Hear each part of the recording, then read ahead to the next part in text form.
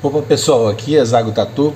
Nessa aula eu vou passar para vocês algumas dicas de como eu faço para corrigir uma tatuagem de frase que ficou borrada, né? Isso acontece geralmente porque às vezes o tatuador pressiona demais a agulha, tá? aprofunda demais, ou pode ser também a tinta muito grossa, né? Tem gente que às vezes erra, acaba usando a tinta que é para tribal, acaba usando para fazer linha, né? E aí o que acontece? Vai engrossar, vai ficar borrado, né? Então, a maneira que eu faço para dar uma arrumada, né, ajeitar essas letras e conseguir recuperar a tatuagem é pegando uma agulha que seja da mesma grossura que a tatuagem já está. Nesse caso aqui eu estou usando uma de 7RS buchão, tá? Para sair um traço mais é, firme, um pouquinho mais grosso, né? Isso aí é uma dica. Se você usar a RL, às vezes você não vai conseguir igualar o traçado para ficar uma linha bacana, certo? Estou usando a tinta de traço, que é muito importante você usar tinta de traço. Não estou aprofundando demais a agulha, estou usando ali em torno de um milímetro, tá? Ela sai bastante para fora, a, agulha sai para fora da máquina quando ela está se movimentando, sai em torno de 2 a 3 milímetros ali. Só que eu consigo colocar ela só a pontinha para fazer o traçado. Legal? Então eu estou reformando esse, essas linhas né, da, das letras, estou reformando você pode perceber que mesmo assim ainda vai ficar borrado dentro das letras, né? Mas então aguarda aí que você vai ver o truque bacana.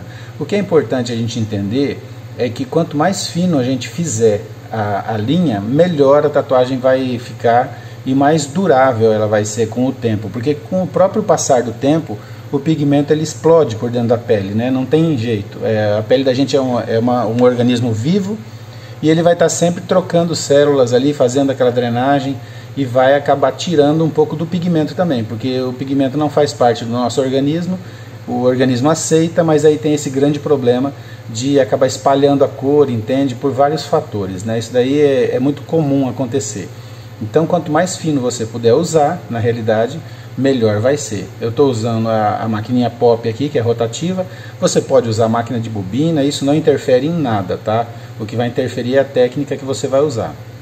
Procura fazer um traçado bacana, da mesma grossura da letra, e quando você terminar de fazer isso daí, você vai ver o segredo aqui para você dar continuidade. Essa minha cliente, ela pediu para fazer uma florzinha também ali, né?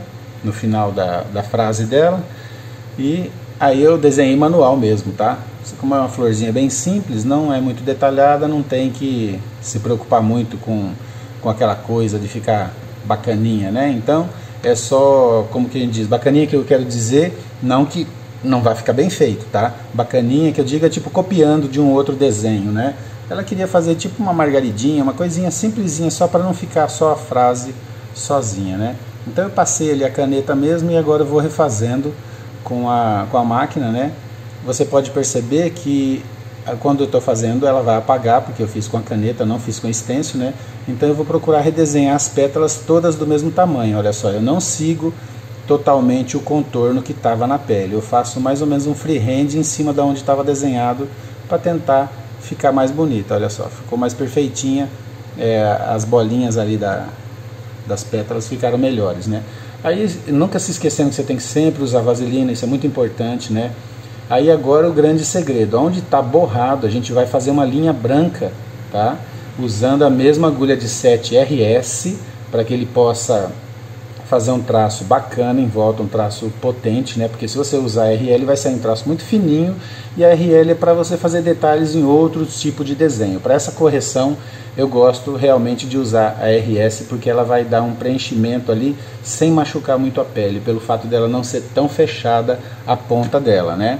Então a gente faz como se fosse uma luz em volta do traçado, principalmente no local onde está mais borrado e observando também que é muito importante a gente colocar dentro das bolinhas da letra, tipo a letra A, letra E, né, onde a gente vê que fechou mais, né, que quando são partes pequenas elas acabam fechando mais rápido, né? E aí fica ilegível na realidade. Então o segredo para você fazer uma tatuagem bacana, reformar ela, é dessa maneira, fazendo o traçado todo de novo, usando a tinta correta, a profundidade correta, certo? E depois você vai fazer essa passada com a tinta branca para eliminar um pouco aquele borrão que ficou em volta da tatuagem, certo? Aquela mancha, né, que quando a tinta infiltra por dentro da pele, fica aquela mancha que torna o desenho ilegível. Né? Isso não é só para tatuagens de frase, serve para muitos outros tipos de desenho também. Então, quando a gente vai recuperar uma tatuagem, a gente tem que saber que colocando um pouco de branco em volta do contorno, além de dar uma luz na tatuagem, deixar ela mais bacana, vai também ajudar a corrigir o borrãozinho, né? aquele cinza que fica infiltrado do lado de fora ali do, do traçado, que deixa a tatuagem bem ridícula real, realmente. Né? E também tem outra coisa, não é só pelo erro de aplicação que acontece esses borrões, né? Às vezes com o tempo também a tatuagem vai perdendo aquela qualidade, vai borrando, vai espalhando o traçado.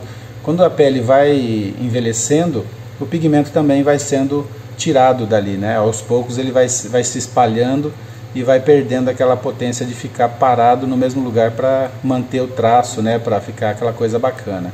Então, olha só, para você ter uma ideia, importante é que você faça esse tipo de trabalho com o branco para você poder corrigir todos os detalhes ali que não ficaram bons, tá? É bem, bem importante mesmo você saber é, a maneira certa de corrigir esse tipo de trabalho.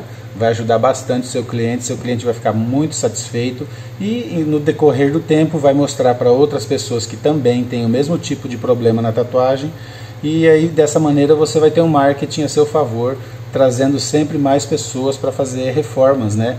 Que isso é muito bacana. E aí, na hora de você fazer o, a troca de cores ali, sempre é importante se você vai usar o mesmo, a mesma ponteira, né? Lavar bem essa ponteira para você poder é, fazer a mudança de cores, né? Para você não, não fazer um trabalho sujo ali, né? entendeu? Tem gente que às vezes não lava direito e vai usar um amarelo, por exemplo, na sequência do preto, acaba ficando aquele amarelo sujo, né? Fica feio. Então, o, se fosse uma tatuagem maior, eu trocaria o bico, eu usaria um bico e uma agulha nova para fazer a troca de cor, principalmente se fosse do preto para o branco, do preto para o amarelo, para poder ter uma qualidade legal. Olha aí, você pode ver que ficou bem bacana. E é isso aí, galera. Um grande abraço, tamo junto.